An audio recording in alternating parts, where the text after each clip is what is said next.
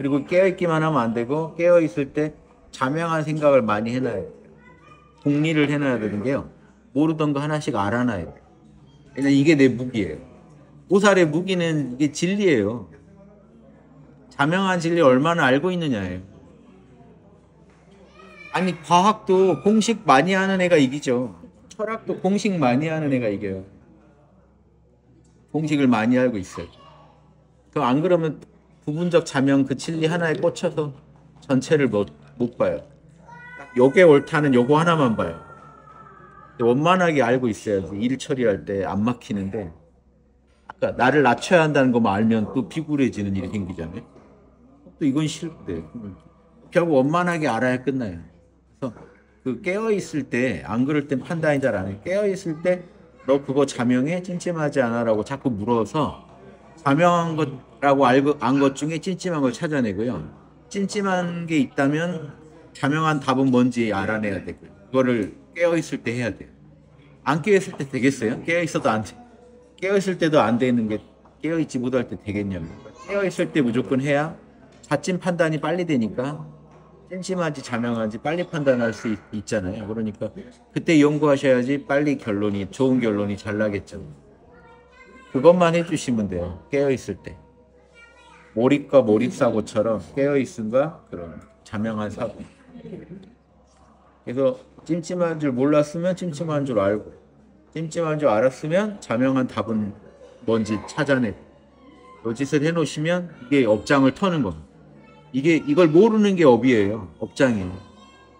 이해를 못하게 막고 있던 지금 업장이 있는 거예요. 소지장이라고 하는 불교에. 요게 털렸다는 건 내가 알아줘요. 아 그거네. 끝이에요. 학당 오신 분들은 복 받으신 게 딴 데서 만약에 이런 똑같은 명상법을 해도요. 정해상수라고 지혜와 명상이 서로 길, 길러주거든요. 근데 다른 데를 가면 뭐가 문제냐면 지혜를 선명하게 안 가르쳐주고 명상만 하라 그러면 못해요.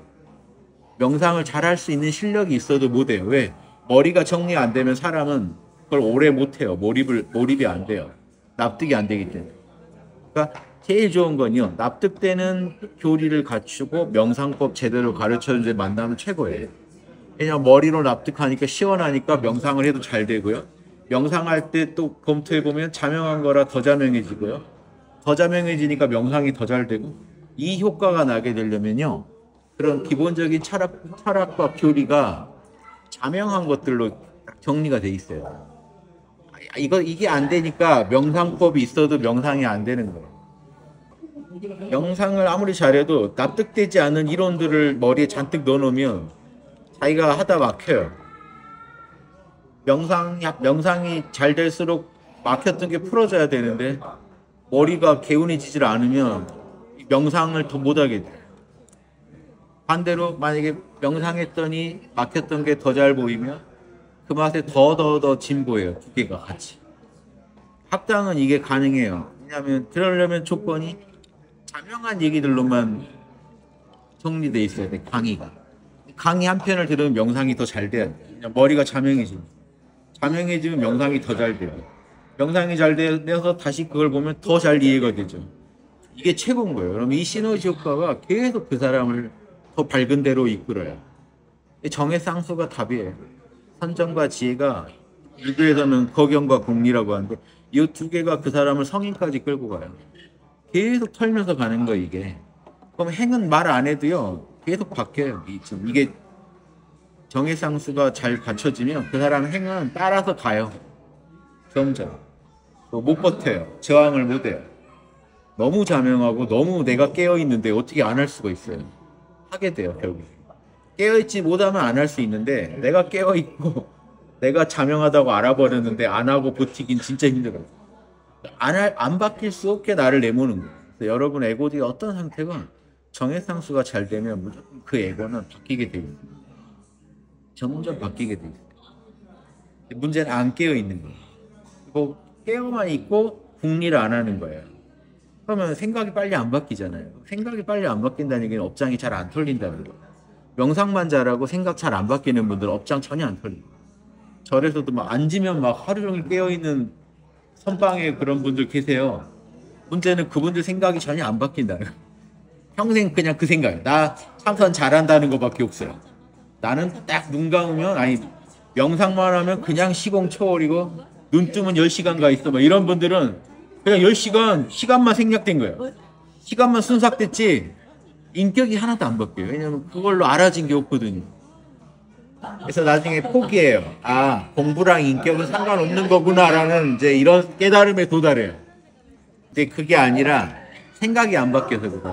그러면 안에서 보리심이 올라와야 되거든요. 그러니까 올바른 불법인데 어떻게 보리심이 배양이 안 되겠어요. 뭐 보리심이 배양되는데 인격이 안 바뀐다는 건 말이 안 되거든.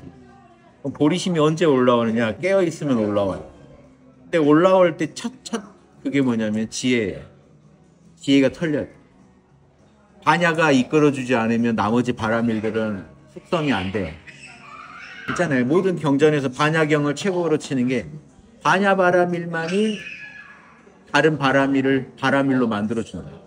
그러니까 반야 바라밀을 못 만나면 인욕은 그냥 인욕이지 인욕 바라밀이 못 된다. 그러니까 반야 바람이 최고라고 하는 게 지혜가 이걸 끌어주니까요. 그러니까 선정에 든 다음에 제일 딱 와야 되는 거는 반야예요. 지혜를 얻으면 그러면 이제 거기서 보리심이 올라오면서 인격을 바꾸는 거거든요. 그러니까 이 순서대로 안 해주면 안 바뀌어요. 선정만 계속 느는 거죠. 그리고 자기의 그 고정관념은 그대로 굳어져 있는 거죠. 내가 잘한다는 것까지 더 들어요. 아상이 더 커지니까요. 어, 무지와집이 더 커지잖아요. 그러면, 그러면 정말 좋은 기술을 배웠는데도 못 써먹는 거예요. 사실은 명상에 깊이 못 들어가도 깨어있기만 해도 지혜가 나오는데 원래는 안타까운 거죠. 그래서 그거는 그 스승이 올바르게 가르쳐 주지 못해서 그래요. 그래서 원래 경전이 그래서 있는 거고 명상하면서 경전 보면 계속 개발돼야 되고 근데 경전이 잘 이해가 안 돼.